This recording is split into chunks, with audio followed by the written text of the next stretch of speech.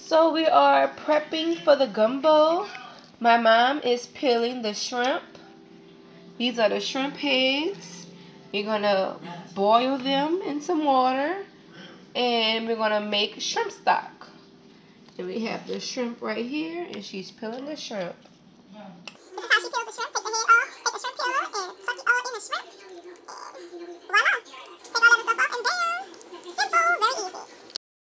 See, the shrimp stock is a very important part of the gumbo.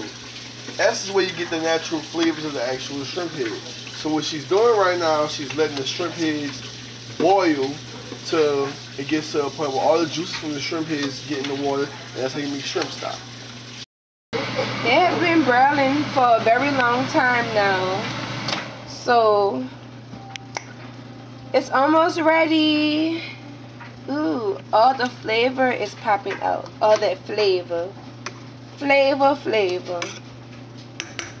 Hello everyone, so today we are going to be making gumbo and this is a family recipe that my grandparents been using for many many years now. And we're going to start off with six pounds of D&D smoked sausage. This is a very popular sausage that we use out here in New Orleans. This is a Patton hot link sausage. This is the hot sausage that we call it. This is four pounds. We have five pounds of chicken thighs. You can use with any with, with any kind of chicken you want. You can use anything. Then we have a thing of parsley. Then we have green onions. We have our celery, bell pepper, onion, garlic. And these are the dried shrimp that we use. That gives the gumbo flavor. We also have 10 pounds of shrimp that we peeled, deveined, and these are five gumbo crabs. And these are a pound of crab meat, claw crab meat. And the powder seasoning we use, garlic, granulated garlic I should say, granulated onion, gumbo filé, Season-All, and salt and pepper. So these are all the ingredients we use Plus, we're going to make the roux and we're always going to have our shrimp stock. But you're going to see that in the video. Just continue on watching. Okay, all the season is chopped up for the gumbo. Um, we also um, cube the chicken and lightly season it. We're going to run the chicken through the oven to, um, you know, just cook the juices off of it because we're not going to put the chicken in the gumbo early because we don't want to overcook. Hot sausages. Put in the pan, prick some holes in it because hot sausages have a lot of grease. We're going to run that through the oven so that the grease can come out the hot sausages. Then we'll slice that. Smoked sausages is ready to go in the pot. So now we're about to start the gumbo. Start with a 22 quart pot. I did gumbo stock when I cleaned my shrimp. I brought my shrimp head. I have three containers and I started doing this process earlier because I knew I wanted to make some gumbo. So I'm going to pour all the stock into the pot, add the smoked sausages, add the dry shrimp, and add the fresh season. But I'm going to save some of my onions for when I do my roux.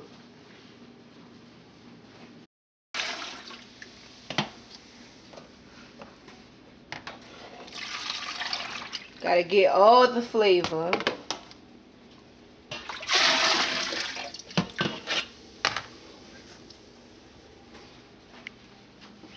And you put the oven, I mean, on high. Okay. Sausage.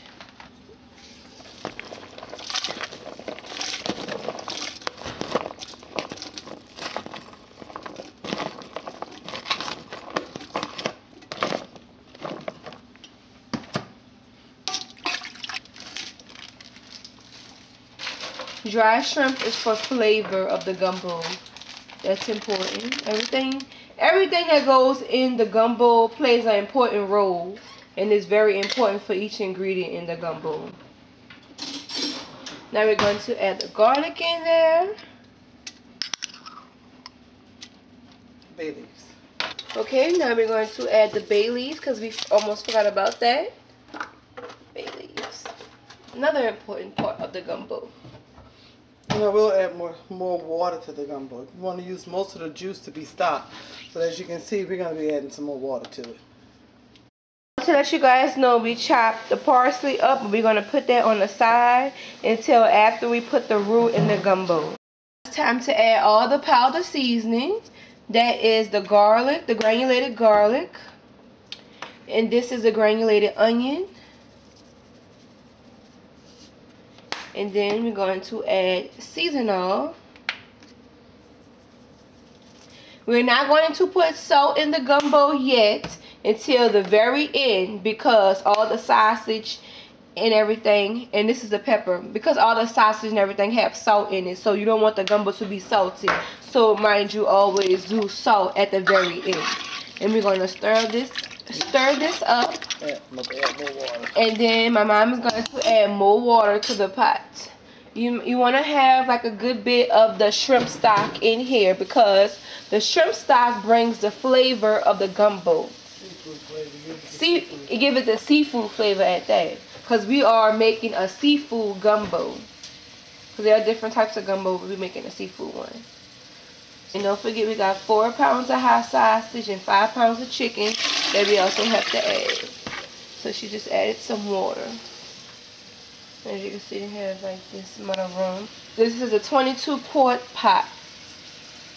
She's going to add more water. That's all I'm gonna do right now. Okay, this is all the amount of water she's going to add. Because we still need to add more ingredients. Because we still have to add more ingredients. Alright, that's it. Going to let that boil and um, then we'll be back. So right now, my mom is cleaning the crabs. You're going to add these crabs at the very end of the gumbo, like the last, what, how long you do it? 20 minutes. The last 20 minutes you add them. These are some beautiful crabs. She's gonna, these basically like five gumbo crabs, but she just break it in half, and it's gonna be like 10. Oh, she, I'll rinse it off, rinse everything off once I finish cleaning. Yes. So you gotta take all the bad stuff out of the crabs. Like all the fat and the gook and all the stuff that you don't need. Well, not really crabs, just a dead man. You know, the guts, I'm gonna rinse that off. Mm-hmm. You're gonna take all the fat, flat fat, be some of the flavor. True.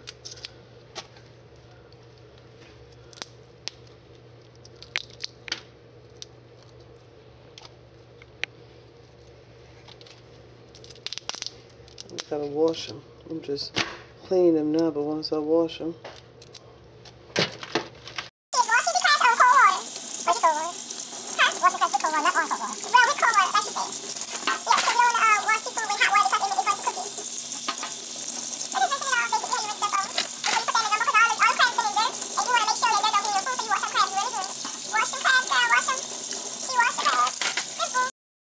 So I had to put additional holes in there so all the grease could come out. All the grease coming out.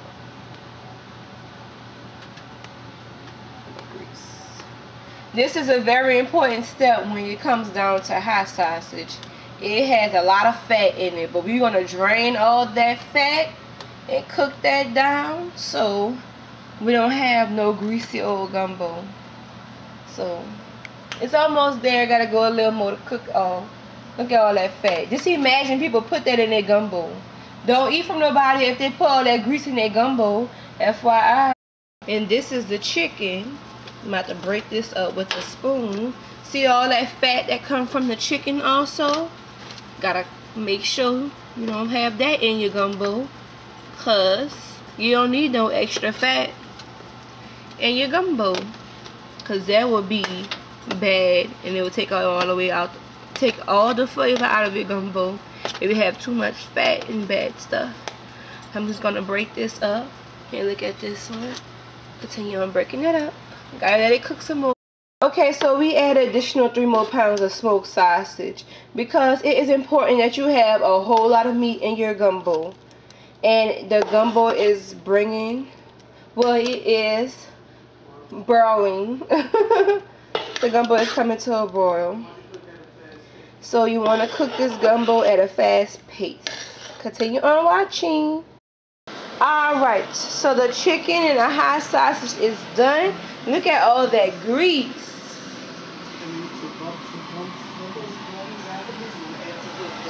And the gumbo is boiling rapidly, and we're going to start on the roux next. Okay, now we're about to add the hot sausage that we chopped up. That goes into the pot. And now we about to get on the roux. And then we're gonna add, oh, We're gonna make the roux. oh, then we're gonna make the roux. So we're gonna wait to do the chicken. Chicken adds much later. Okay, we're gonna add the chicken later. We're gonna put that on the side. So we pulled the pot over to the side. My mom is adding a little more water The back burner.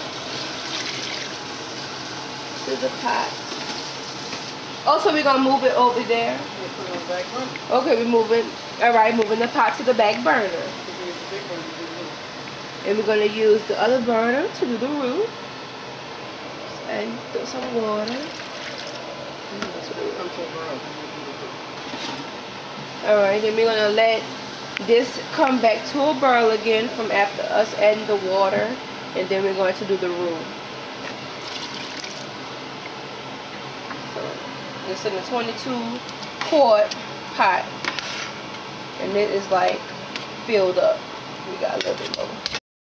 Okay, I'm about to start the roux. I think I'm gonna start with maybe about half a cup of cooking oil. Hmm. In a hot skillet, let the skillet get hot. I'll do about another half cup. So one full cup. One, um, about three quarters of a cup. Add a little bit more. Three quarters of a cup of cooking oil. If I have to add more, I will after I start. I have to let that get hot. My wooden, my handy dandy wooden spoon. This gumbo been cooking for now about an hour. It's been cooking. We started around 12:45. It's like 1:45 now. Mm-hmm. So this is after one hour of cooking. We're about to put the roux in.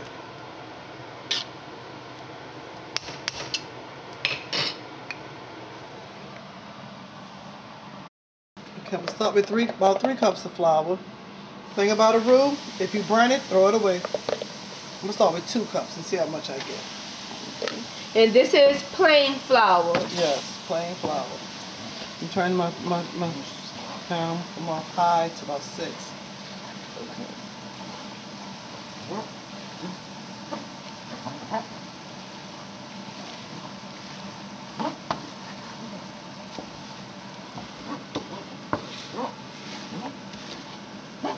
So what's the consistency it has to bring? This is gonna thicken the um, gumbo up with flavor. Okay, I think we'll put some more, put some more cooking oil in here. So you did like I did three fourths of a cup, so that's another half a cup. so okay. That's about ooh, almost two cups of roux. Two cups of, uh, I mean two cups half of of uh, cooking oil, and this is two cups of flour. I'm about to add one more cup of flour. so the Earl is probably like at least two cups of Earl. About two cups, and then one and a half, and then a half. About two cups of Earl, and we're gonna do. We're gonna add another big cup of flour. And so far, it's three cups of flour. So three cups of flour.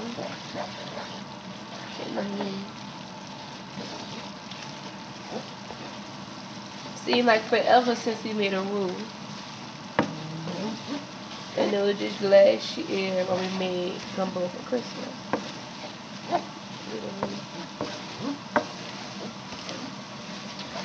And uh, what is like the the part to make the roux? Just a lot of stirring, a lot of There's a lot of stirring. You have to let it brown.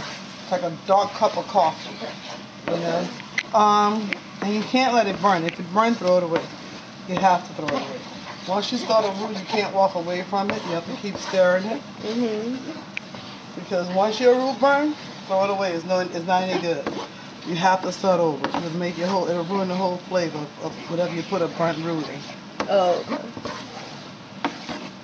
It's gonna take it some time to start browning. hmm So basically, plain flour and cooking oil. and cooking oil. But we use uh corn oil, corn oil. Yeah. Basically, whatever your preference is. Yeah. What about olive oil? You think olive oil gonna be too much? Olive oil may burn too fast for a. Depends on if you're used to cooking with olive oil. Depends on. You know, you don't want nothing to burn. So if you don't if want not- to, yeah, if you, if you cook with olive oil, you think you can do it, go for it. As long as it don't burn. Okay. So like vegetable oil, canola oil, corn oil, Yeah, it's your preference. your preference. What you're used to cooking with. Mhm. So we just, I just don't care for vegetable oil. Mhm. Yeah.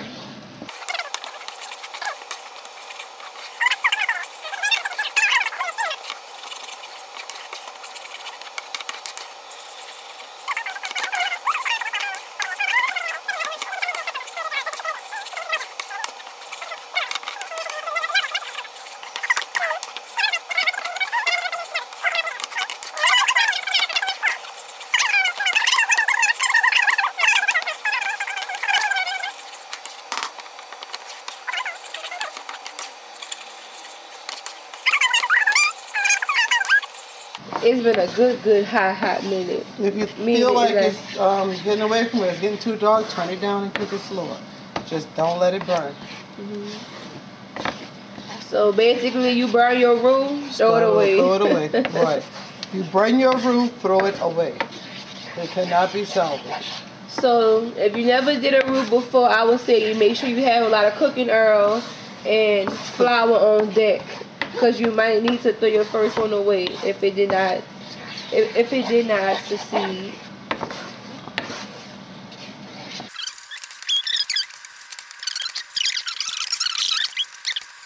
So what is so the purpose of the roux is to have it what? It makes just your, your gumbo thick.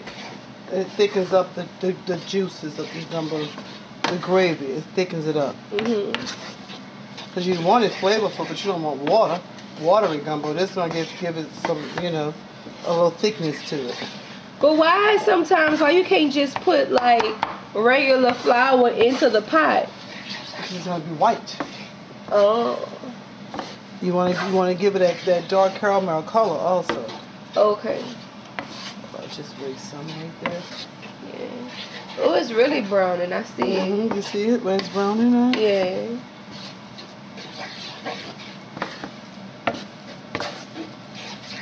I never even saw you do this. Like growing up, I see you start at the beginning, but I never like really like stay and pay attention Right. to you do it Right. when you do. And I'm gonna it. I'm gonna fry down some onions, add some flavor to it also. Okay, so I'm so still cooking it down. ooh, that's gonna be good.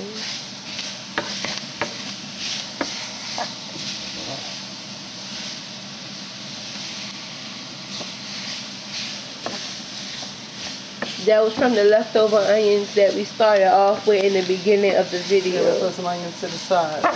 Yeah, for the roux. Yeah, that is like a almost like a cocoa brown, almost to the point of a dark dark brown. Yeah, we're gonna get it a little browner.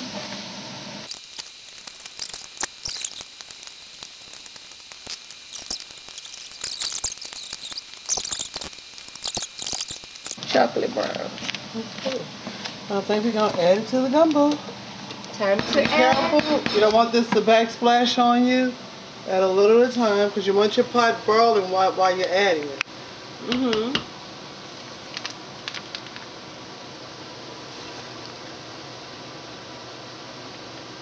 Oh yes, you need to needed to uh make sure the gumbo is boiling. So it can melt. So it can cook it up in, the, in there.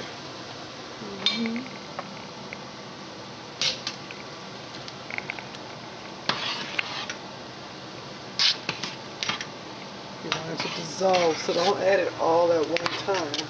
Okay. You see how it's cooking and it's dissolving in there Mhm. as I add it.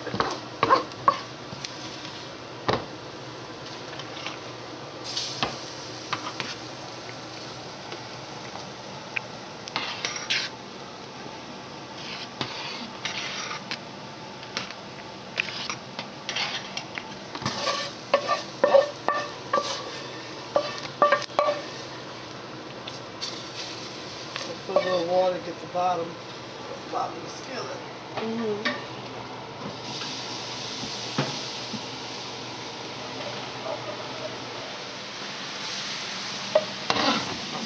Ooh, the steam. Now I think I saw you do this before years ago, growing up. Cause I haven't watched you do a roux. Can't tell you when. So you gotta add a little water, you guys, to get all that extra flavor out.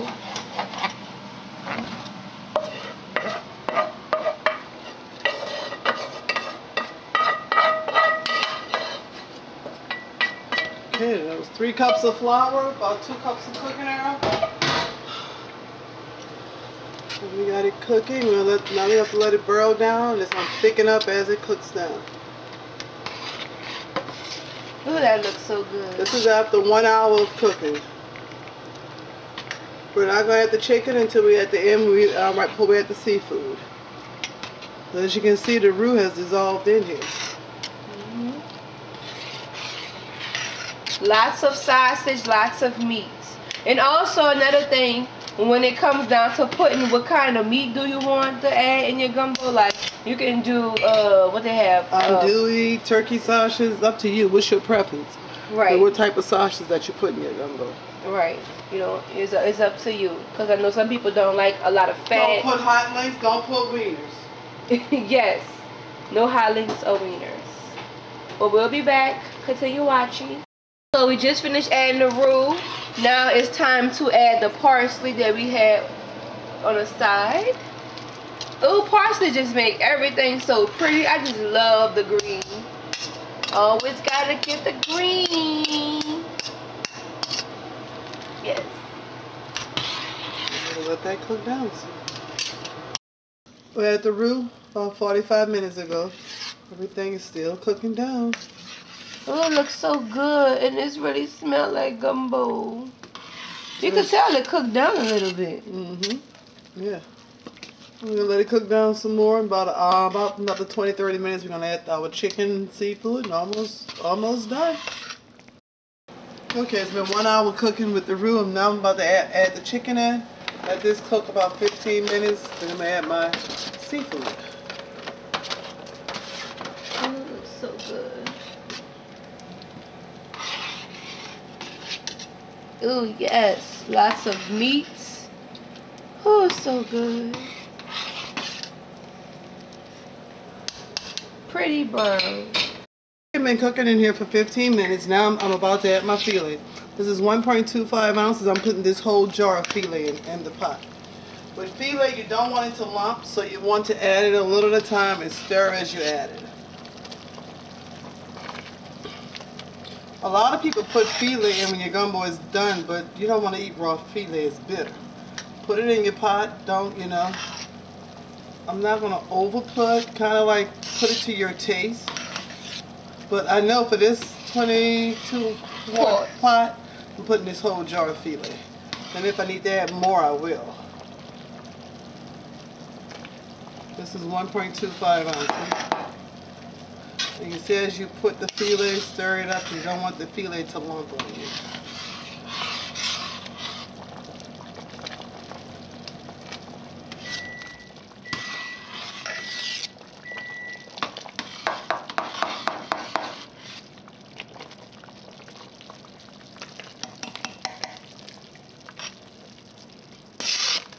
And filé gives it that gumbo flavor, right? Yes. So good. Now, because I don't want no more of my gravy to, to cook out, I'm going to now turn it down and put the top on. I'm going to turn it down to probably medium heat. I want to put the top on because I want it to stay cooking, but I don't want no more of my juice to cook out.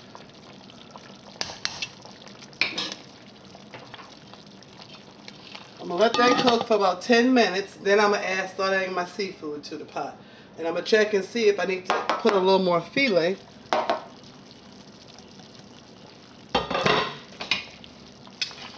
You just do it to taste. And I used to do, do, do mine to look. As you can see, the filé helps thicken up the gumbo also. Okay. And tell them about the thickness. You don't want it to be like, You don't want it to be watery, Watery. but you don't, you see how, how it looks kind of rich and thick? You don't want your, your gravy, you know, the juice to be watery either, but you don't want it to be, you know, thick, thick. But this is like a very good consistency mm-hmm. with one jar of filé so far. Okay, so it's been about 15 minutes now. I think I want to add a little more filé. I want a little bit more filé. So you're gonna do what? A little thing and a half? Yeah, probably do a little. This was a little under a full one in anyway, so I'm just do about a quarter, one and a one and a quarter. Okay. Put a quarter more from the one. A little less than a half. All right, that's gonna do it. Mm-hmm. Let me Ooh, see it, gave it that uh rich color too. Mm-hmm. Yeah, that's good. Okay, now I'm gonna let it stir. I'm gonna cook for about another five minutes. I'm gonna add my seafood. Okay. Okay, it's been about 10 minutes now. And it's time for the grand finale of the gumbo. All right, ten pounds of shrimp going in. About to add the seafood. This is the very last in. Our rice is already cooked. I don't have to teach people how to cook rice. That's simple. We already cooked the rice Now we're gonna drop our crabs in. The crabby Crabs. Oh, they was already dead. The blue crabs. Crabs are going to turn what? Red, pinkish when it cook anyway. Okay, now we're gonna let this cook another 15 minutes. 15 more minutes left so the gumbo is ready. Yay! Okay, it's been about 10 minutes. Seafood is done. Gumbo is done. Ooh. Crabs are done. You have to think about. Now I'm about to add some crab meat in here, and I'm gonna turn it off and let it sit. Turn the heat off. Crab meat is gonna cook in the gumbo because it's gonna be so hot. Mm-hmm. Right. Crab meat. The claw crab meat. Okay, just break it up, stir it. Gumbo, ladies and gentlemen, it's done. Turn it off.